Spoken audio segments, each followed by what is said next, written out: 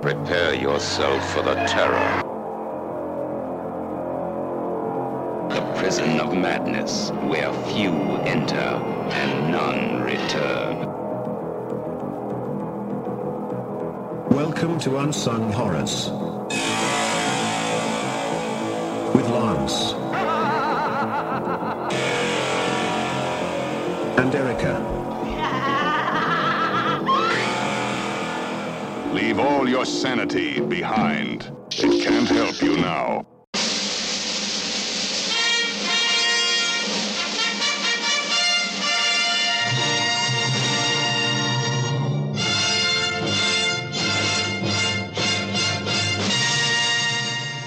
Welcome to another episode of Unsung Horrors, the podcast where we discuss underseen horror movies, specifically those which have fewer than 1,000 views on Letterboxd. I'm Erica, I'm Lance. and it is Shawgust. It is Shawgust. It is our favorite time. Well, one of our favorite times of year. It's all like I can't pick. Jolly January, No Rules November, Horror Gives Back, Yeah. Shawgust. I mean, every two weeks is my favorite time. Aww, That's when we record. It's pretty much every two weeks, guys. Uh, not in, not including the bonus episode. So, that's true. Yeah. but Shawgust is a great time of year. Yeah. And I'm glad to see we've got a bunch of people who are really diving in this year. Yes. Um, I think uh, Francisco has been sharing his his picks daily that he's been watching. Um, Adam's watching a bunch of stuff. Mhm. Um, he got some stuff from Netflix, like saw the that. DVDs. Yeah. I didn't realize that was still happening. I didn't. Well, John did it like uh, last year because he was like, "Yeah, there's some older movies that like you just can't find anywhere." And I but think we- Netflix has them. That's yeah, wild. I think we tried it for like a month, and we're like, "No, "Never mind." well, yeah, he, had, he got Corpse Mania and Seeding of a Ghost. yes, Yeah. two of my bangers. favorites. Yeah. Uh, Uh, and then I saw that list you shared from Ryan. Yeah, Ryan. Yeah, Yeah. Ryan's got his list up on Letterboxd. Uh, Matt's Matt's watching some Shaw Brothers, so Yes. it's growing. It's happening. Yeah. Hashtag Shawgust. Uh, so we are kicking off Shawgust with Bewitched from 1981. This has a Blu-ray from 88 Films. I I did check around after our last episode, and it does look like pretty much sold out yeah. on 88 and Diabolic and uh, Orbit. Uh, you may be able to find it like on eBay or something. I think the DVD's still available in some Okay. some places, but yeah, the Blu-ray is pretty much sold out from what Yeah. I can find. And honestly, like you're fine with the DVD because the only special feature on the Blu-ray, no shade at 88 Films, is the commentary that uh, Lance and I both hate. Terrible. Mm. We'll talk about that. We'll talk about that later. But so as of this recording, Bewitched has 890 views on Letterboxd. Quick summary. Uh, the film opens with the discovery of a young girl's body, with a large spike having been forced into her head. Uh, the police convict the father, who does confess but claims that he was cursed by a woman in Thailand. He implores the detective to investigate in order to corroborate his story to help get the curse lifted, even though he is sentenced to death. The detective investigating travels to Thailand and also becomes cursed by the same black magician and must enlist a monk to help him fight the black magician. So, Bewitched was directed by Kuei Chih-Hung. He is responsible for some of the best supernatural Hong Kong horror movies out there. Uh, the Boxer's Omen being The Goat, uh, Hex, Corpse Mania, which we covered last August Yes. uh, Bamboo House of Dolls, The Killer Snakes, Ghost Eyes.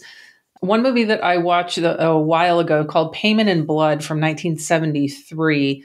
This one is really good. Uh, I did watch it with no subs, um, but it was really easy to follow. Uh, but I, I wouldn't recommend doing that. I would just wait. I'm sure with there's so many of these movies that are finally getting releases that I expect that this one unless like the elements are just gone or trash, that this should get a release too because it's really great. Uh, and then one of the others that's sort of outside of the horror realm that he directed, but still definitely has Hung's flair and I think has some horror to it is Killer Constable. Yeah.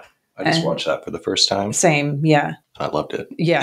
I mean, it's it's so good. And I think your review mentioned something about filming at night or like shooting nighttime scenes. Yeah, that nobody I mean, somebody probably does, but like I think I just commented that nobody does it better than Kuei Chih-Hung because it's in all of his movies. He's so atmospheric. hmm Like it, it reminded me a lot of Corpse Mania, like the shots at night, like that that Mm-hmm. The blue blue, lighting. lighting. and it just it looks fucking great. So it does. He's he's definitely what probably my favorite, uh, not just Shaw Brother horror movie director, but probably just director overall. yeah, Like he is so good. I love yeah love his stuff. If you haven't checked out most of those films, it, he's a great place to start, especially if you're new to Hong Kong or Shaw Brothers horror films. Uh, so the film was composed by Eddie Wong. He also worked on Hex, but he did mostly do martial arts and drama films. Return to the 36 Chamber and The Chinese Boxer. There are some score elements that are not his. I'm gonna. I'm not taking credit for this because uh, John covered this film on his old podcast, Late Night Psychorama, and I remember Bewitched? Uh, Bewitched, yeah, and I remember him bringing up that they used part of the score from Phantasm in this, and it's not like the main theme that everyone knows really well, Mhm. but it's um, so the part when his daughter or he imagines his daughter is stabbing him. Mhm. Um, it's the very beginning of that score, like the tinking and then the drums leading up to the main score.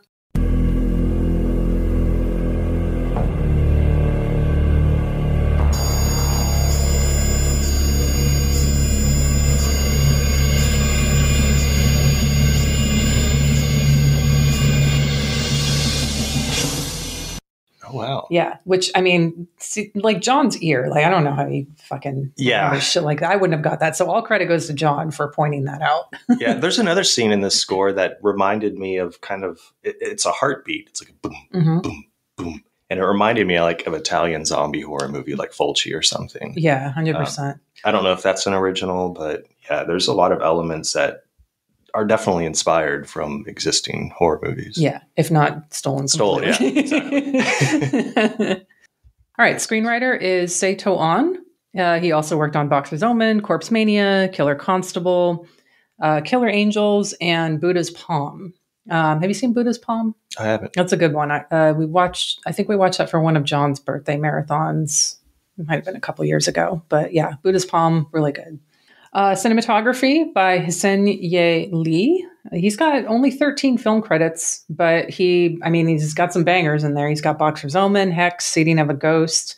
There is one other one he did called Bloody Beast, which I watched, I think, last year, and it's a it's a category three film about a guy who's triggered by breasts and breastfeeding, and he kills women and children. So, Yes. you know, obviously, I watched it. So, I have that on my watch list. yeah, it's fun. I need, I need to watch. it.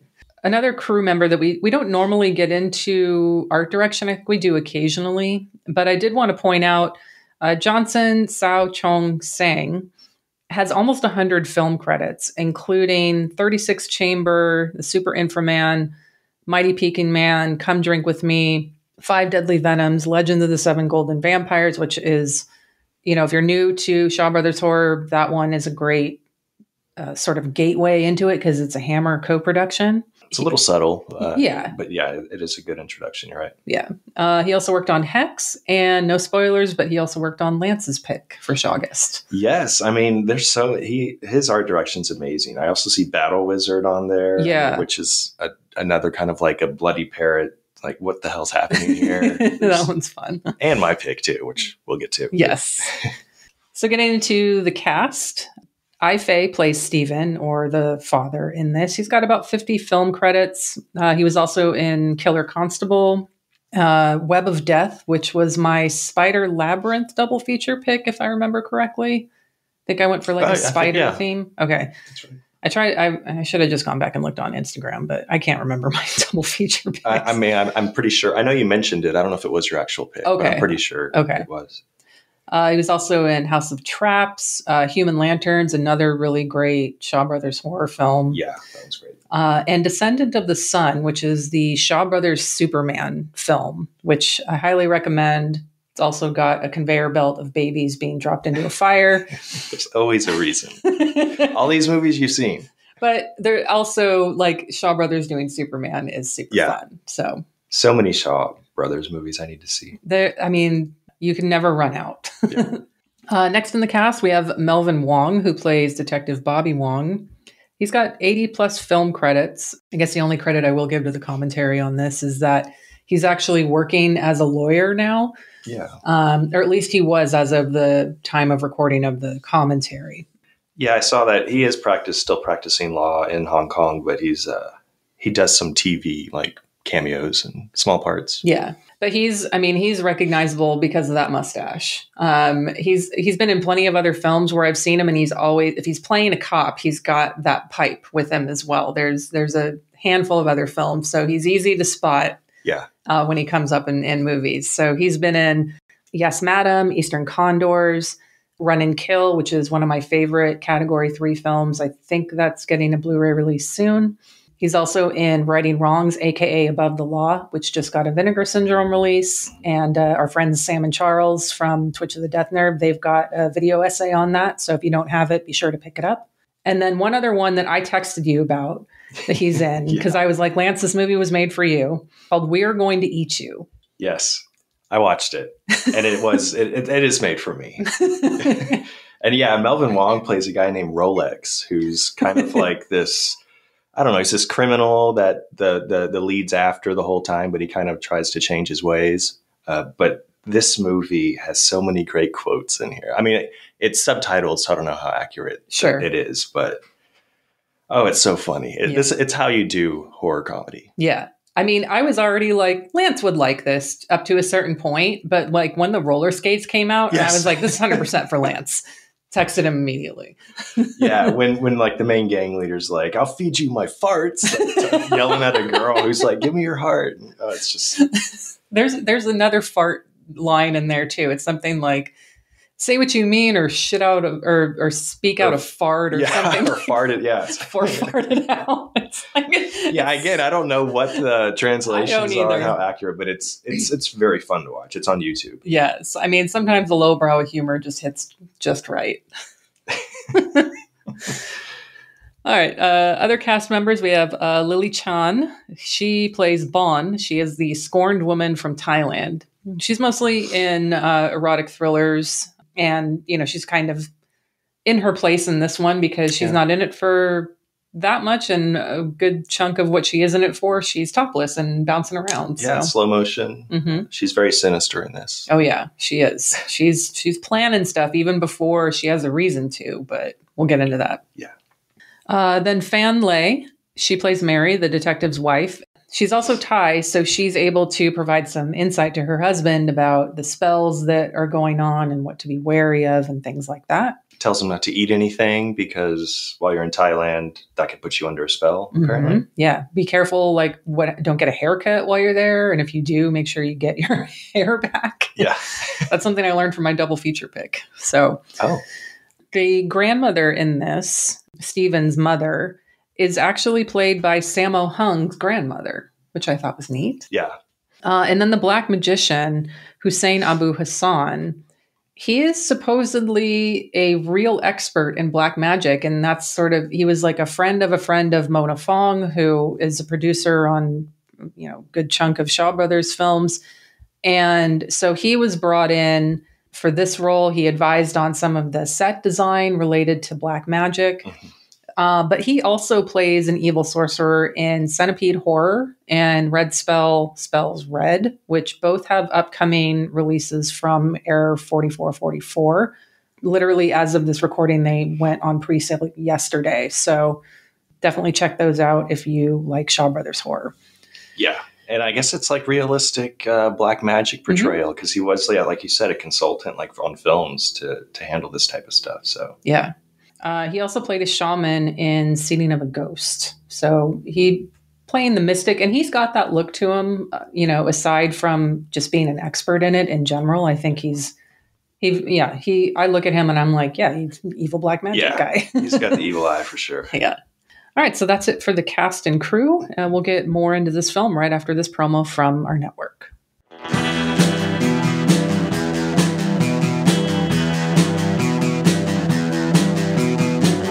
You're listening to the Prescribed Films Podcast Network, home to hundreds of hours of free podcast entertainment. The shows on this network all have a common goal providing you with the best discussions about movies and other forms of entertainment media. The PFPN hopes to fill your earholes with audio joy. Visit our website with links to all the other amazing shows at www.thepfpn.com. Thanks for listening.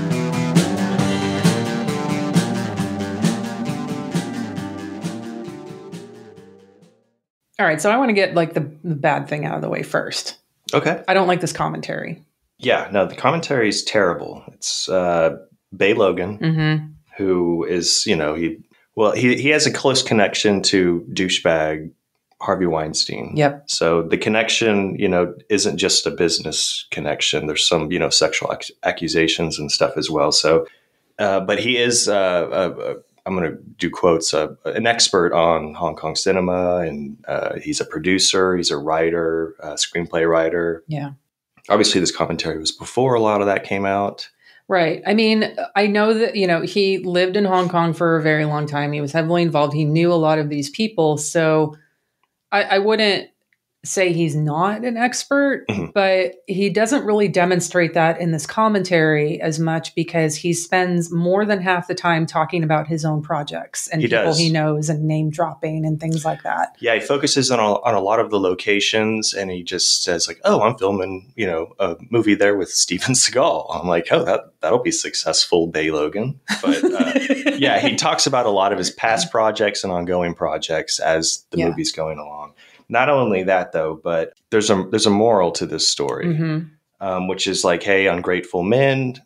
Keep your dick in your pants, pretty much. Like, Yeah. stay away from casual sex. Uh, you know, It's literally spelled out at the end of the film, like on screen. It says, like, this is a warning against infidelity and Yes. be careful, be wary of black magic. yeah of which and and that is like he's the the audience he's the he's the actual focus audience like that moral is directed at Bey Logan and men like him Yeah. based on some of the you know the accusations Of that have come forth since then Yeah. so it's really gross when I hear him uh, he sticks up a lot for the uh, you know for Stephen hmm uh, saying like, you know, why he doesn't deserve all this. He just went to Thailand to have some fun, you know. And he, he I, quote he called he said something like, so he's he's getting, uh, you know, he has a spell cast on him, and he's getting punished for quote not showing up for a date with a Thai ho. You know, it's just Right. which is which is kind of it's what happening. I mean, it, it, what happens in the movie, but at the same time, it the fact that it's this guy talking. And also, like, yeah, the way that he's saying it, like, no, she's actually not a hoe. She's he's mistakes her for one. Right. She's a typist. Yeah. Yeah. It- yeah. Him just keeps sticking up, like, leave him alone. It's just a fling. I was just like, dude, you're gross. Yeah. Quit talking gross. Like, get out of here. And obviously, if you want to drive the point home of the message of the film, then you can't just be like, oh, here's a casual little like revenge element. Yeah. Like, take it to the extreme to drive your point home. Subject this guy to multiple curses and like that sort of thing. I mean, it's a, it's a, it's the whole point of the movie. Yeah. He's just kind of arguing it. He's sitting Yeah. there arguing it. So- And I mean, I know you probably hated this too, but he kept talking about how he did, how he hates seeing child death. oh my God. As soon as he did that, I was like, I fucking hate this guy. I, well, yeah. As soon as he like in the very beginning, because you know it opens up with uh, you know the little girl with the, the nine inch nail in her head. He's like, you know, I, I don't like watching. I don't like seeing this. Uh, there's another scene where a little a little boy gets shot, yeah. and he's like, oh man, I just I hate that. I hate that this. You know, I hate I hate children getting hurt. Right. I mean, here's the thing is like, I, I get it. I do too. if but people are advert like i understand that i mean i understand people are going to look at me and be like what the fuck is wrong with her but i understand if you are a parent and looking at something like that makes you uncomfortable but how adamant he is he's like oh my god i hate this and just making it sound like it's a a bad element of the film itself is what annoys me Right. I mean, he was the wrong choice. Obviously, he does know his stuff with Yeah. Hong Kong cinema, but he was the wrong choice for this movie because, first off, the moral of the story, hmm he's arguing, and this child death, which is the whole setup of the story a Right. father killing his daughter. Like, it has to be shown. Sorry. Like, Yeah. it's this is Shaw Brothers horror. Like, get used to it, dude. All right. That's okay now we're, we're done shitting on that part it's not even anything to do with the film but it you know it is i did just want to get that out of the way let's just you know shower this movie with love so yeah, it deserves it. so a few things that uh, it's impossible for me to pick any sort of favorite scenes out of this. I have a few, but yeah, you're, it is it is hard. It, it- like I have a few listed, but I'm like, if you ask me to pick one, I'm be like, no, I Right. can't. So there's so much great stuff in this. I think one of my first favorite ones is when Detective Wong goes with his translator or interpreter to the mystic woman and they get the spirit of the vegetable basket yes. also like and i don't i guess i give credit to logan for this calling it like kind of a ouija board but it's not really it's more like the oracle like w- where they're writing out stuff Right. It's you know. spelling out and answering your questions. exactly For sure. it's Yeah. not using like a planchette or something like that so that part and when you know wong is asking questions and his translator is, is going over and he's like well would impotence be uh, like a side effect of this? And the translator looks over to the witch and he says something and he like wiggles his finger like it goes down. It's just i love that Yeah, that, that that's a good scene. You're right. I mean that that's like included in one of my favorite scenes too. One of mine that I that just stood out. There's a lot of like what is even happening moments going Mm-hmm. on. Um, I, I I wouldn't say it's unnecessary subplots, but there are a bunch of stuff with like there's this nutcase that the police are trying quote to unquote that's his literal name and, and that- credits yes, he's yeah. I'm not I'm not calling him nutcase. That's what they that's what they refer to him as Yeah. uh, in the movie. Um, sometimes it feels like there might be four movies going on at once, but there's this one scene which kind of falls into the the subplots, weird subplot. But the wife goes to see a priest, right and or I guess he's some sort of priest, like an exorcism uh, exorcist uh, priest, and and he's like, "Oh yeah, it sounds like your your husband definitely has a spell on him. I can take care of it." And as they're talking, a, a girl's having trouble with her car, and she reverses and just plows into him, runs over him, and the and, and the spellcaster, the evil sorcerer, just pops up like in the background over a hill, and he's holding, I guess, like the ripped out brake wires, like like "Ah." and the blood just goes down the you know the side of the street, and he collects it with a rag for like his next spell, but. That's one of my favorite scenes i because it it just pops out at, when he pops up holding the, the, the ripped out brakes. She's like, "There's no black magic involved with this. I just ripped out the Yeah. ripped out the the cord here." And he's got those mirrored sunglasses on. He's it's, it's great. it, it's odd. It, it's one of those moments where you're like, okay, it probably didn't need it, but it 100% needed it to be like my favorite scene of the movie. Yeah. One of my others is, I guess we'll call it the the main. Well, because there, so there's a wizard battle or a final battle, and I wouldn't even really call it a battle at the end because it's more so like the monk. Like the the black magician doesn't really fight back against the monk at the end. Right. um, he just gets like overtaken by him. So let's just call it like the primary battle between the monk and the black magician. I think Maguso, I think is his name. Yeah, Magusu. Maguso, and um, so they're in two different places, and it's kind of a lot like I think we had the same thing happen in Black Magic, where you know one's doing something at their place, and but the magic carries through. So, but there's so many great moments from this, including so basically Stephen has uh there's a picture of him with four spikes driven through his face. And so what the monk is trying to do is I don't want to call it virtually, but sort of telepathically um, get those spikes removed from the picture in order to lift the curse. Mhm. While he's trying to do that, the black magician is trying to hold the spikes down. And at one point, he's got his hand on top of one, and there's this really great effect of the spike coming through his hand. Mhm. Like that prosthetic looks fucking great. Yeah, you can kind of see like it's a real probably hand uh, underneath the table, and the fingers are moving in and Mhm. out, but it's the actual back of the hand is prosthetic and it's actually going through. It Like, looks great. the practical effects in this movie are next level. Yeah.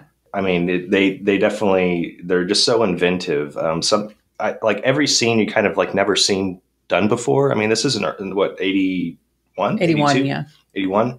The knife on the wire trick, Yes. where um, where Wong's wife is stabbed during the flying spell. Mhm. Uh, the pregnant woman for the oil, the carcass. Just- uh, and that oozing black oil from her nose. That's another one of my favorite scenes. Yeah. The vat of dead babies. oh my God. Yes. That's part of the first wizard battle. And yes. again, credit to John for this because he called that um, that cauldron of it's like guts, fetuses, a bunch of other shit in there. John's like, oh, oh it's Umbilical like he's he's taking a break from his sport to go get some Gatorade. That's exactly. I had noted like a Kool Aid looking vat of dead babies, and yeah, he basically takes two. He just dunks two big bowls and and chugs them to replenish. Yeah. and he does end up fighting back and kind of not beating the monk, but that actually is what ends the battle because he has that that power from, from that Kool Aid. yeah, it's it's fucking great. One of my, my favorite parts of this too is uh, another I'll call him a character that makes an appearance a couple of times. The fake bat. Yes. I mean, yeah. it- it's the cutest bat ever. yeah. The first time it's it's actually on the wall, Under kind the of gold, like. yeah. And it looks like uh, Moss Man. Do you remember? Well, did you ever have He Man toys?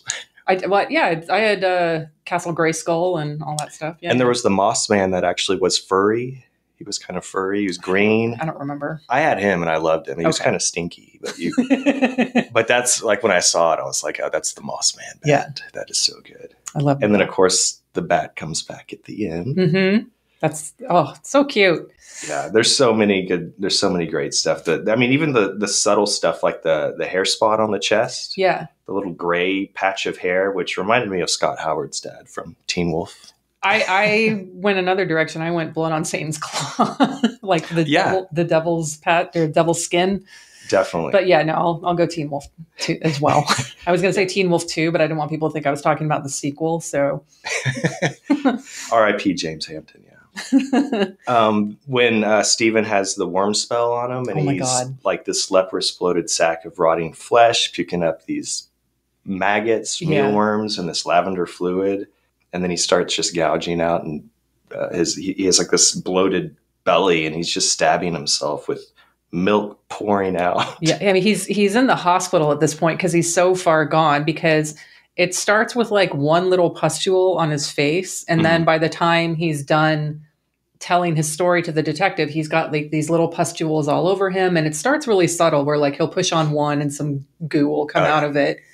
And then I think the next time we see him he is like fully wrapped up like a mummy. His Yeah. belly's completely distended. He, yeah he's puking up the the fucking mealworms. He's uh, he's cutting up his own and I mean, it's like a scene that kind of pops up because he's kind of you know he's left and you know he's been sentenced to death. Mhm. you know he's dying but we're now focused on uh on on wong trying to figure out and you know all this black magic stuff. Yeah, and i think at that point the evil wizard is going to hong kong to Mhm. kind of stop wong. Right, and you just kind of cut to this scene of Steven in the hospital and you're like, "Oh yeah, is that is that him?" Because you can't see him; he's completely wrapped right, is that a pregnant lady? Like, what is happening? And you realize what, what's going on because they, they mentioned the worm spell. And he starts puking up all these mealworms and these maggots, and it's it completely catches you off guard, but it's just yeah. it's so terrifying. It's gory as hell. Like it's not. I mean, it's something that you would expect to find in something like a Fulci film, probably Yeah. because of the maggots or the mealworms. But I, my mind, yeah, and the atmosphere too. It's it, I, I would have to say Bewitched, and I've watched a lot of you know horror. This is our second, our annual Shawgust. I would say Bewitched is probably the scariest of all that I've watched. You think so? Yeah. There's very little humor in this. I mean, there there are humorous moments. Yeah.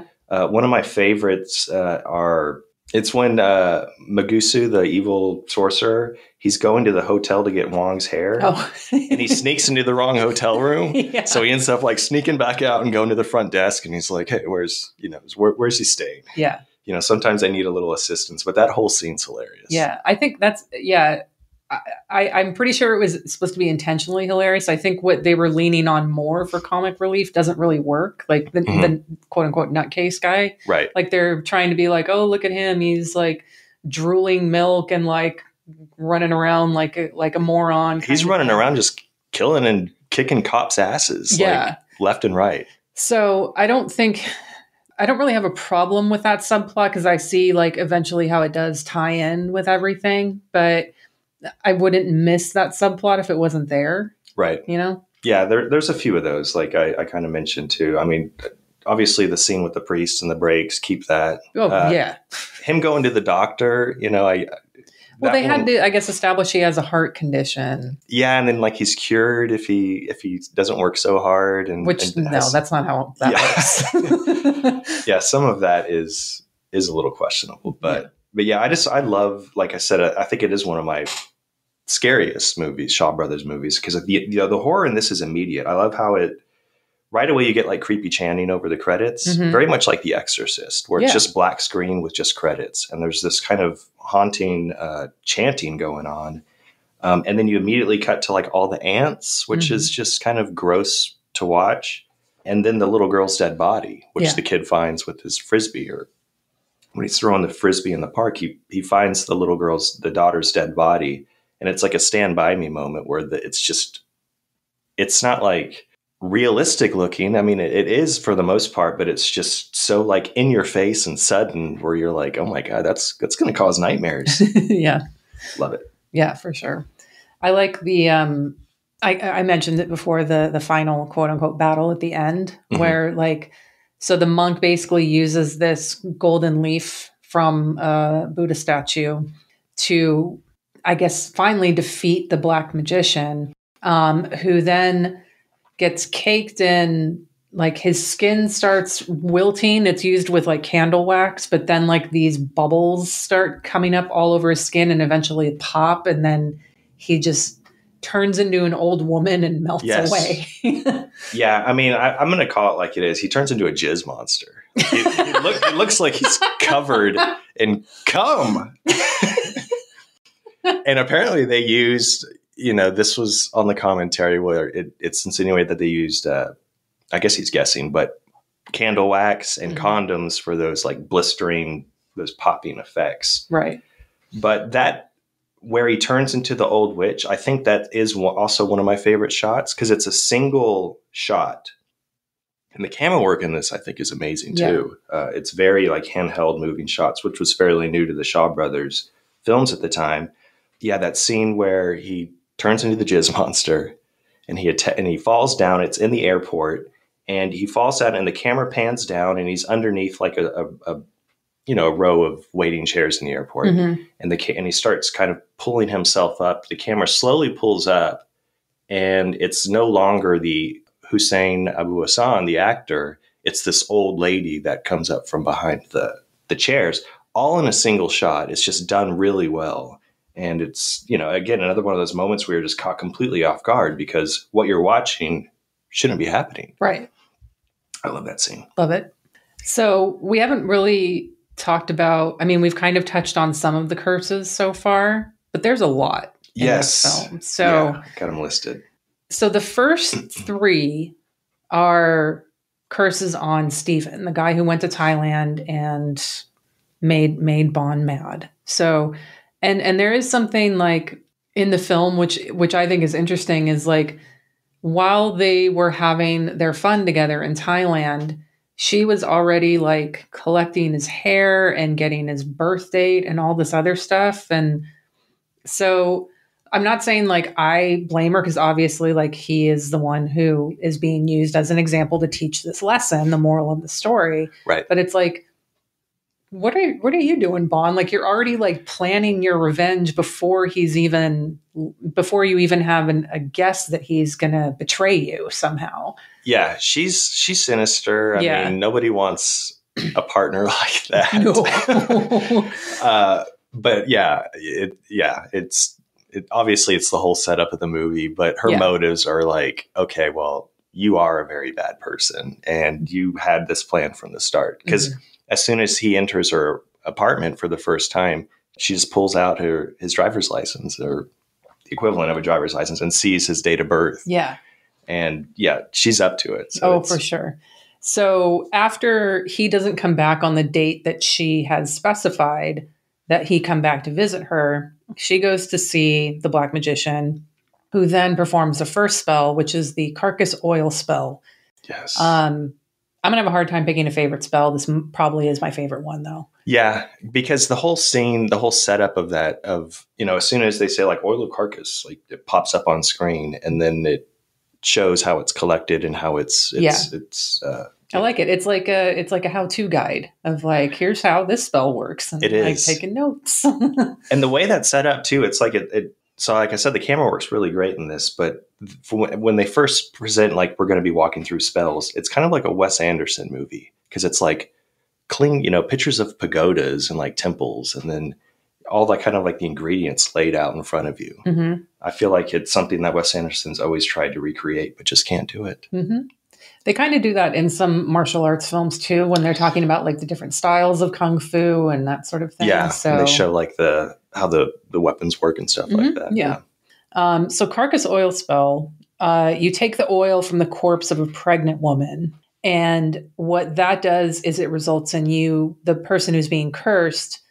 I'm, I'm skipping note, like Lance kind of already talked about what the oil spell looked like. It's a corpse of this pregnant woman laying there, and then the body it sits upright, and this oil comes out of it, and he collects that oil, and that's what goes into the charm that uh, she gives to Stephen and gets put around his neck and eventually creates the it leaks on the on the date he doesn't show up yeah onto his skin and creates a hairy patch on his on his skin.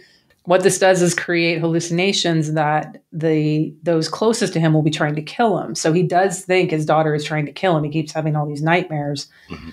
And he eventually gets told by this other mystic woman, like, "Nah, sorry, you're gonna have to drive a nine inch spike into your Yeah. daughter's head. That's your only solution." so good. But uh, then there's also the coffin spell, Yeah. or as I like to call it, the original dick in a box spell. Yeah, that Uh, makes him impotent. Yeah, phallic item gets placed in a box and then drowned, so that makes him impotent. And then the last spell that Stephen is subjected to is the worm spell, which we talked about. Um, him vomiting maggots, belly becoming distended, all, all Yeah. of that. That could be my favorite as far as the outcome goes, Yeah, for sure. But I think since the carcass oil one, it shows so much of how it's done and the methods behind it. I think those are two. Those are both my favorite. yeah, those ones are great. So once Stephen is dead, Detective Wong is still investigating, and so the Black Magician is like, "Well, I gotta."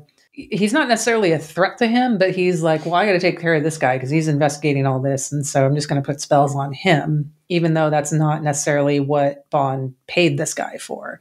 Yeah, I think he wants to make sure that he doesn't try and like go to monks and good wizards and stuff Yeah. like that. So the first spell that Detective Wong becomes subjected to is the lemon spell. Yeah. Um, which actually it's a lime, even though it's called lemon on screen, Yeah. but whatever.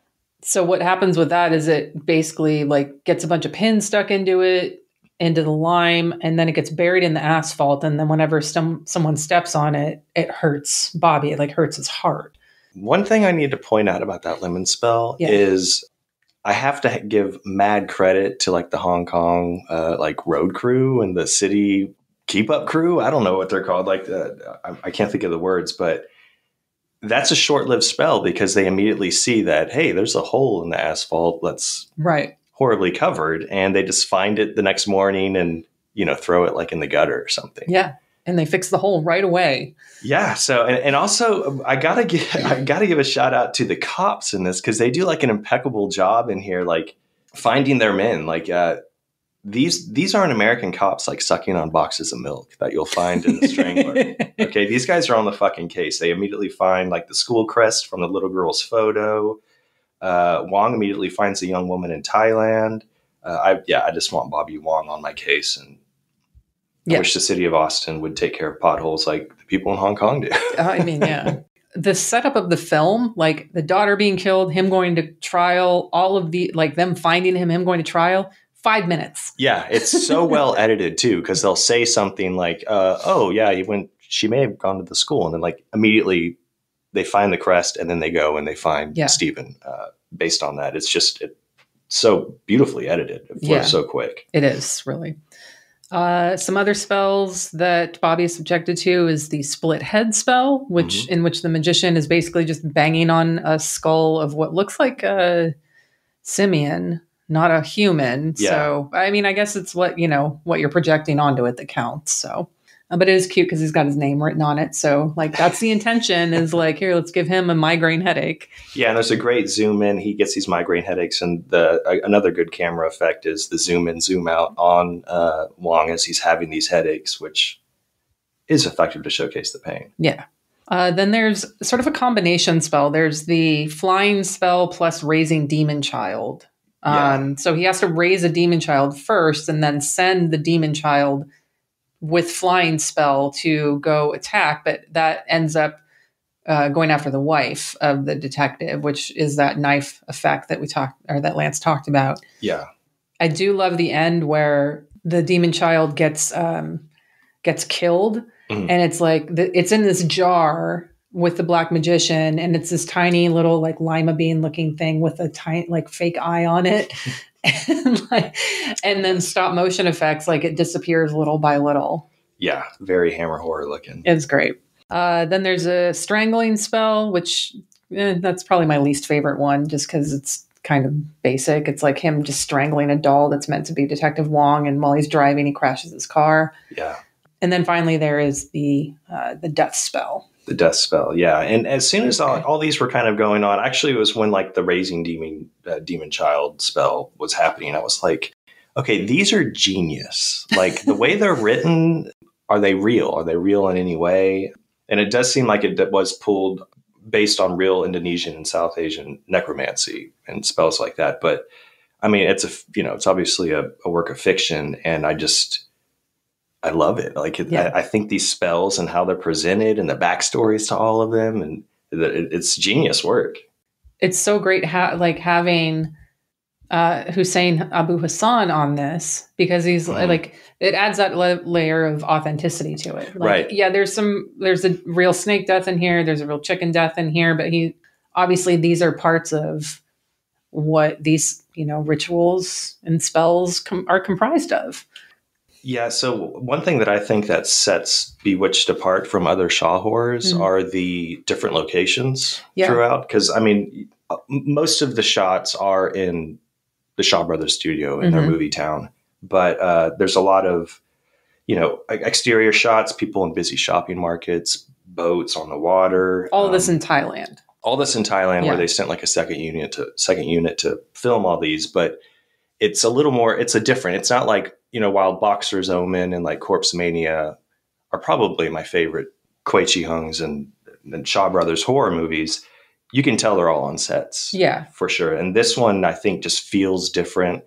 And I just think it's scarier too because you're out it's more out in the real world and stuff where all this is happening. yeah, and it's there's such beautiful shots. Like Thailand is is beautiful. Mhm. I mean, I, you know, when they shot this, obviously in 1981, it was it's a lot different from when I went there in, in 2002. But like the the Wats and like the markets and the street food, I, I was I was taken back, and I was like, oh my god, I remember all of that. Minus, you know, I had to deal with a lot of smog, but they, Right. they didn't have to have as much of that during this time. But yeah, it's they they spend a lot of time on a lot of exterior establishing shots that aren't necessary I don't think are necessary, but I do I do enjoy them being there. Yeah, I think it does add. It, they aren't necessary, but I think it does add to the whole atmosphere of everything, like and how broad and kind of real these situations are Mhm. could be. And then another thing I wanted to bring up was, which I found on the commentary, Hmm. which is the cut scene from the like the cover and poster art. Yeah. So there is a there's an image that's on the DVD release where it's uh, Stephen having sex with a woman. I mean, they're covered in like bath bath suds, like Yeah. they're in the bathtub. Um, and that scene is supposed to be it, it was cut, but it was intended to be included when he goes to the massage parlor, like that little brothel, and It was like the fish tank brothel where it's like you pick a woman from behind the, the Yeah. glass to And I- sleep with. and I guess that's I don't know why that scene was cut, but it, it, it would have I guess it would have added to that. Stephen is more of a you know he's visiting Thailand and he's just having sex with a bunch of women. Right. That's uh, I thought that was interesting because there is a scene of him in the tub with his girlfriend back in in uh, in Hong Kong, hmm where I thought I figured okay that's where the the image is, but Yeah. it's a cut scene. Yeah. It's fine. It's fine. You don't need it. Okay. Um, so obviously we we both recommend this film. Yes, Yeah. hundred percent. I mean, there, there's some, there, there's way too much to even like list off and like what I love about this film. Practical effects, atmosphere. I mean, it's just what other movie, you know, are you going to find just a big cauldron full of baby guts and Exactly. fetuses and fake flying bats and like pustules popping and And the sound, I think I may have brought this up on a past, you know, Shawgust episode, but the sound of the nine inch nail being pulled out of the skull, it's orgasmic. I just, it's so good. you're not going to find that in any other movie. I think that was the Black Magic episode because Yeah. that's where they had to pull them out. Yeah. yeah, which, which is probably a perfect pairing for this. Yeah. What did you pick for it though? So my favorite scenes in Bewitched are the evil spellcasters Magus, who's you know played by Hussein Abu Hassan. So Mhm. whenever he was on screen, I was very much into it. He was my focus. So I'm going with not only a Hussein Abu Hassan evil sorcerer double feature, but we all need more puking up bugs in our life. Right. Yeah. So I'm picking uh, one of the only Hong Kong Category 3 horror movies written by a woman, uh, and that is what you already mentioned Centipede Horror from 1982. Yes. It's directed by Keith Lee. It's basically about a family who has a hex placed on them, and an evil sorcerer, played by Hassan, uh, casts some spells on them for visiting the Southeast Asian uh, region, uh, namely the powerful centipede spell. So they try to defeat the evil wizard with the good wizard, which has some similarities with Be- Bewitched. Uh, the Letterboxd summary might sell it better, although it's probably not completely accurate. But it's a crazed evil wizard uses his power to take revenge on beautiful women by making them vomit up live centipedes, which then proceed to eat their victims. Yes.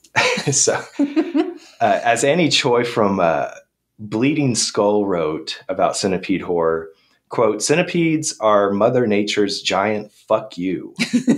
It's her way of reminding us that she is the one with the power, the one who can strike fear and disgust into our feeble, stupid hearts. So it makes sense that if for some re- insane reason you had a bunch of centipedes at your disposal, then you'd make a horror movie about them. End quote. yeah. So this is centipede horror. There's centipedes everywhere. It's fucking gross to watch. Obviously not for everyone. Mm. Um, truthfully, not for most people, but Yeah. it's. I didn't like it the first time I watched it. I remember that. I'm still Uh, bitter about that. Yeah, years ago we saw it uh, at uh, Dismember the Alamo. Yeah. yeah, it, it's it was a nice. I think it was a 2K preservation of the Yeah. 35 mil. Yeah, it was gorgeous to watch. Uh, I'm a you know me. I'm a believer that every film should be watched at least once. So if none of that sounds appealing to you, puking up centipedes, uh, give it a chance. um, and you know, since uh, Hussein Abu Hassan is like a pro spellcaster in Bewitched and in Centipede Horror, that's my pick. nice. It is on. It is streaming on YouTube. It's a rough copy with English subtitles. Yeah. Wait Um, for the Blu-ray release. I'm sure it's gonna be Yeah. great. Yeah. Legitimate release coming. So wait for it.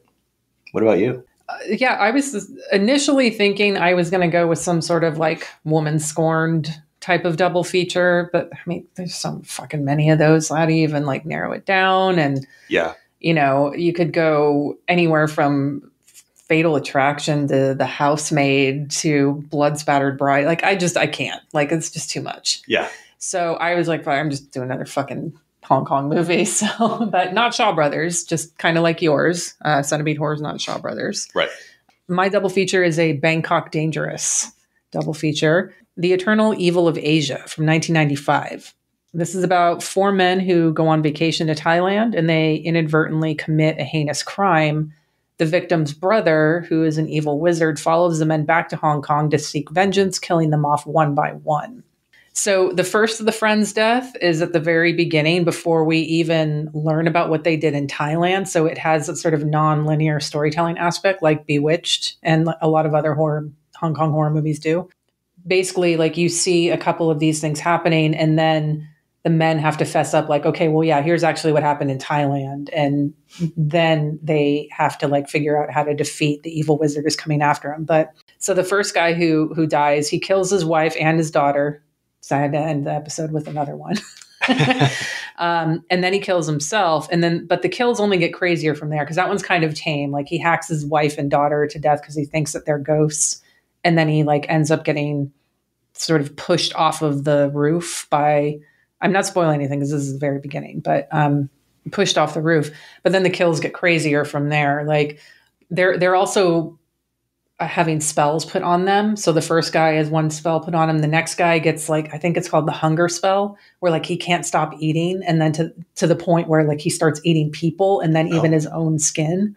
Uh, Elvis Tsui is in this. He's in a lot of erotic comedies. He gets turned into a literal dickhead in this film. so this has a lot more of the comedy in this film. So this would kind of lighten the mood. So I would do Bewitched first, and then Eternal uh, Eternal Evil of Asia. Uh, this is available to watch on YouTube. Oh, also a, ghost gets a blowjob in this movie. Yes. So yeah, yeah, I need to watch that. Yeah, it's great. Eternal Evil of Asia. it's it's super fun. I definitely recommend it. But we've got to get to our next pick for Shawgust, Lance. Portrait in Crystal. Hell yes! this is it. This is the one. Uh, released in 1983, it's directed by Hua Shan, who's best known for directing the Shaw Brothers sci-fi adventure, The Super the Super Inframan. I'm not even going to try and explain the the sum of the Don't. thought or plot of this movie. Nope. There's so there's no summary this episode, people. We're going to try and figure things out on the actual episode, Yeah. or just talk about what we love about it. Um, we will be having someone joining us to help us out with this too. Yay. Ian Jane from Rock Shock Pop is joining us again. We always love chatting with Ian. Yes. We first had him on as guest last year for your pick, Erica, uh, Mhm. Black Magic 2 for Shawgust. Uh, he provided the commentary on the 88 film's release of Black Magic 2. So he's now going to help us out with Portrait in Crystal. So it's on YouTube, and I'm happy to report that a, a new version was added a few months ago. Erica filled me in on this. Uh, the first time I watched it, uh, oh my god. yeah, it- I watched it last year on YouTube, and it had Portrait in Crystal 1983 English sub splashed across the screen the entire runtime. I still cannot believe you said like I'm sorry. I have watched so many movies without subtitles and I think that's pushing it. You've reached a whole new level. Yes, I mean it was it was it was both irritating and amazing. Okay, um, I kept asking myself like, Lance, what the fuck are you doing? But Yeah. once this movie starts, and this is this is my uh, my reasoning behind this. Yeah. You can't stop it. Oh no. Yeah. So that's that's why I did that. Listeners, if you want to watch that version, it's still on No, YouTube. no, don't don't. I recommend the version without it, but um, you know, it, it certainly adds to the weirdness and out of body experience the film provides. So, Please no. Just watch the watch the new one that's been recently uploaded. I think it was in June. So Yeah. look for that date. It's got English subs. You're good to go. Yeah, click click the closed caption button uh, for the English subs. It's there. Yeah. Um, I feel like the the Shawgust gods have smiled upon us. Yeah. You know, it's let's get a release now of it. Yeah, I mean, step one, have a good version available on YouTube for us to watch it two months before Shawgust. I'm like, perfect timing. Yeah. The release is going to come soon now after this. It's got to. I mean, it's such a crazy movie that we'll talk about. It currently has 268 views on Letterboxd, and it's just a visual feast Oh, for the eyes. So much fun. Uh, if you're not already, you can follow us on Twitter, Instagram, and Facebook, all at Unsung Horrors. You can follow me on Letterboxd, Twitter, and Instagram at Hex Massacre. I'm on Twitter, Letterboxd and Instagram at El Shivey. Guys, keep your dick in your pants and watch out for black magic. And we'll see you back next episode uh, for Portrait in Crystal with guest Ian Jane. Bye. Bye. I put a spell on you.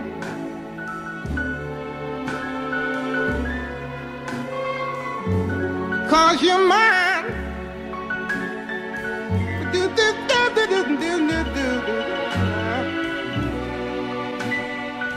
better stop the things you do. I ain't lying. No, I ain't lying. You know I can't stand it. You're running around. You know better, Daddy. I can't stand it cause you put me down. Yeah, yeah. Put a spell on you. Because you're mine.